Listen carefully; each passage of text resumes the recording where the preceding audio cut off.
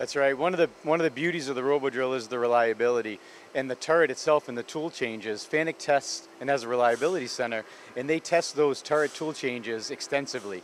The number that they throw at us, which is true, is their duty cycle is 5 million tool changes before they need preventative maintenance, which is amazing.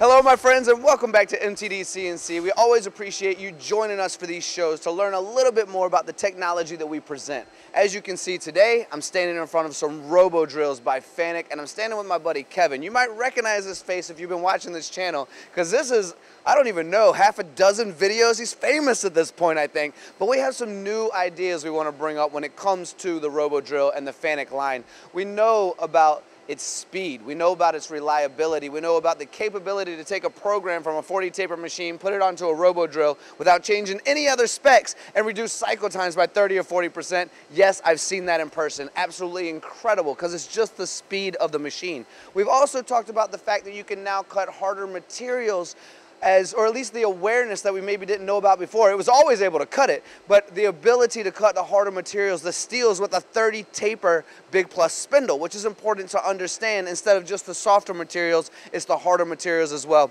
Kevin is here to talk about some really cool technology about the Robo Drill, and then we're gonna focus a little bit on the reliability, and we're gonna start there. Kevin, let's talk about the reliability of the Robo Drill, because I know you've run a lot of tests on how many tool changes can be implemented without any kind of worry or hesitation, right? That's right. One of the one of the beauties of the Robo Drill is the reliability and the turret itself and the tool changes. Fanuc tests and has a reliability center, and they test those turret tool changes extensively. The number that they throw at us, which is true, is their duty cycle is 5 million tool changes before they need preventative maintenance, which is amazing. We've been to the factory, we've seen it, it's an impressive facility, and 5 million duty, duty cycle changes is really, really impressive. Drill.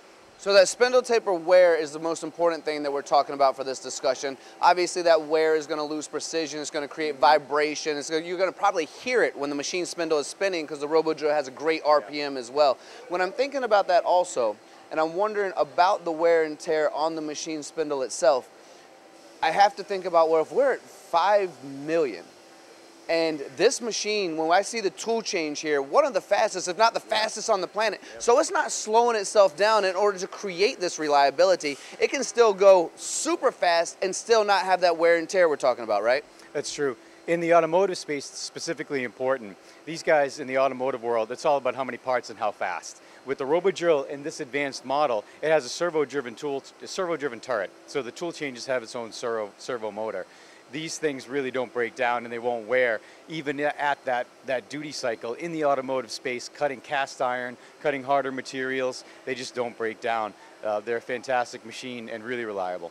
You know, I love when a conversation compounds itself. The fact we brought it up with the flexibility and the machining of yep. steel, and now we're talking about the wear and tear, and there's still no wear and tear that goes along with it for, you know, what feels like an infinite amount of time, even though nothing's infinite these days. True. But the reliability is there. Now, I know you want to discuss a little bit about the software as well, the interface, because it is discussionably the most popular software on the planet. We see it everywhere on not, obviously, not just Fanuc machines, but on machines throughout the industry. So people are quite familiar. Would you like to broaden that horizon on that conversation? Sure.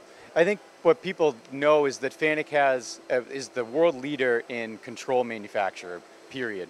They make the back end of most controls of most machine tool builders in the world. And their back end is sitting in front of a bunch of other user interfaces for other machine tool builders. And the reason that is because the Fanuc control is the most reliable, it's got great processing speed, and it's got great flexibility. The big deal with the Fanuc control and the Robo Drill is they're focused on what the user experience and the user interface looks like. They've really made it easy, icon driven. The new iHMI side of the control is really intuitive. You don't have to be a legacy programmer to understand how to use it. It has some app icons, it's really user friendly. They've just done a great job with the user interface, for sure. Yeah, the upgraded software that I've noticed, it's almost like using an iPhone or mm -hmm. a smartphone, yep. which isn't that the way, in my opinion, we should all kind of adapt because we're so familiar with the way that works now? It's become globally yeah. famous, globally popular. So if what we're doing is trying to invite the next generation of engineers and manufacturers in, shouldn't we make that transition pretty easily and easy and user-friendly as well? We should, especially with the workforce kind of labor shortage we're looking at. We need to make this industry easy for people ad- to adapt to. So younger engineers, younger machine operators, younger technicians, they want that icon-driven, app-focused, user-friendly experience. And they want canned cycles, they want some standard programming features, some automatic G-codes already written into the machine, and that's what Fanuc is doing. They're on the leading, bleeding edge of that stuff. Some of their new software deployments for, for some of their canned cycles are excellent, and it's all icon-driven. So really, they're driving it that way for sure. Yeah, I agree. And I'm starting to see a common theme here between reliability and flexibility, right? We've started the beginning, we're walking through it. Something else I want to bring up that I think you want to talk about as well is the fact that this Fanuc talking to Fanuc, and as I look around, there's also cobots and robots that are Fanuc as well. So it's really the same conversational piece going on from one part to the next part to the next part, and that adds to that flexibility and reliability as well, doesn't it? It does. The big benefit with Fanuc products is that they make a wide suite of, of products. They make robots, DTT tables, DDR tables, they make their controls, and the robo drill.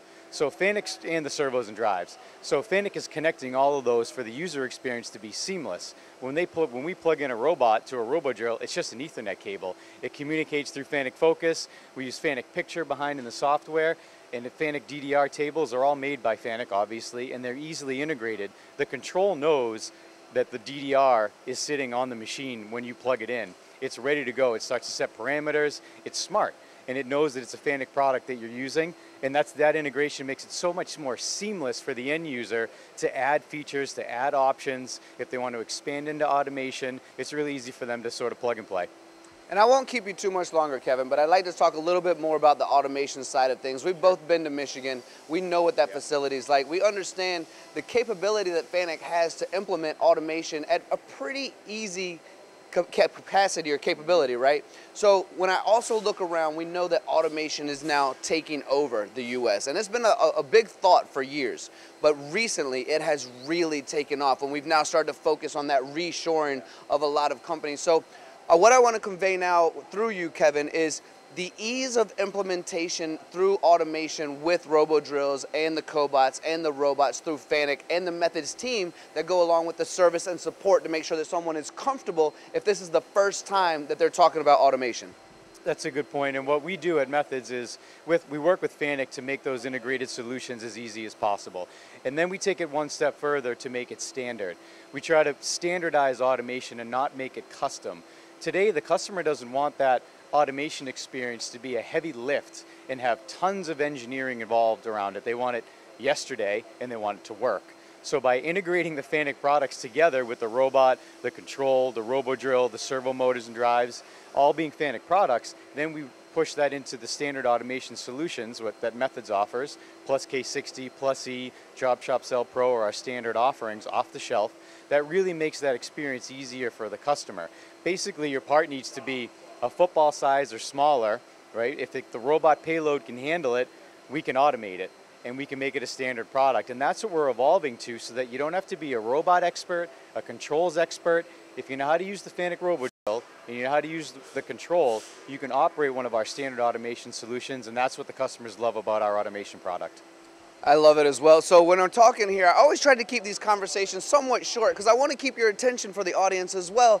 But I just keep thinking of ideas that we need to discuss. And I love talking with you, Kevin. And something I want to bring up based on the confidence for the customers right now is the fact that you guys have a state-of-the-art precision center and you have a turnkey center in Chicago that is massive with inventory both on the East Coast, Midwest, and you're growing now and getting ready to launch a Texas facility. And here today, we're in Arizona, and this facility facility is incredible with all the customers that have come through as well. What I'm trying to say is turnkey situations, precision centers, allow for that additional confidence. As you mentioned, we want it yesterday, right? Mm-hmm. So now your customers can go, we want to do this, prove it for me first, and you guys are able to do that. And then as soon as it hits the floor, it's ready to go. Right, we deliver solutions that have that are proven to work. in our precision centers, we like to run those custom solutions off, even the standard solutions off, get them bulletproof, then send them to the customer. We have the facilities and the infrastructure to do it, and more importantly, we have the support and the expertise on the engineering side to help the customer get over that initial hurdle, especially if it's their first one. That's a big lift for a customer, and we really make that experience seamless. We really make it easy for them, and we support them through that whole journey. And it really comes through because customers come back and they ask for a second one. Their customers are happy because they're produ- producing better parts, better quality, and faster. And we get the second order, we get the third order, we get people coming back for more automation. And that's a true testament to what we're doing around the country. A true testament around the country, second order, third order. We started out with talking about the ability to cut harder materials, the flexibility, the adaptation of the robots and cobots, the simplicity of use, the fact that Fanuc software is arguably or discussionably the most popular on the planet. Just trying to convey the message to all of you watching that this might be something worth looking into. Kevin would say it's definitely something worth looking into. Absolutely. And as a Switzerland channel, we always like to provide this information for you. Kevin, absolutely, right? Absolutely, you got it. Absolutely. Thank you all for watching. We appreciate your time. I hope you've learned as much as I have today from my buddy Kevin here, and we'll see you again soon, Kevin. Always a pleasure, my friend. Thank you, Tony. Appreciate it. Thank you.